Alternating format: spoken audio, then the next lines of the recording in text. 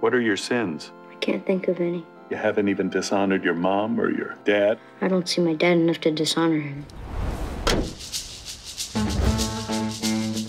Please keep him out of trouble. Anthony, you okay?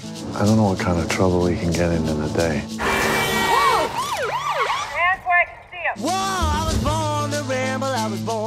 You're living with a Philistine. What's a Philistine? It's a religion of dumbasses. Go to the truck, unlock the big box, bring me my wood toolbox.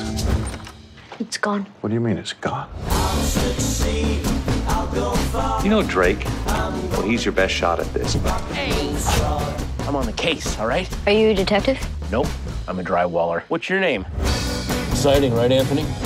It's the guy whose toolbox you stole. Hey, Drake, are you on meth again? Don't change the subject. Yes, I'm on meth, okay? What the hell?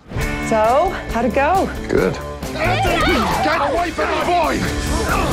Come on. Let's go home. Your dad is a good man. He's got some demons, but you know, we all do. Yeah. I didn't hurt you, did I? No. These things that they tell you, they might be true, they might not be true. What do you think? I think that I don't know, and neither do they.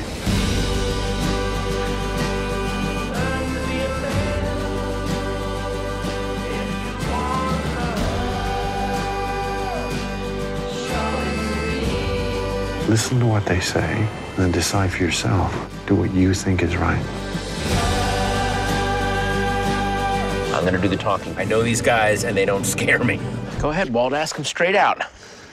Uh,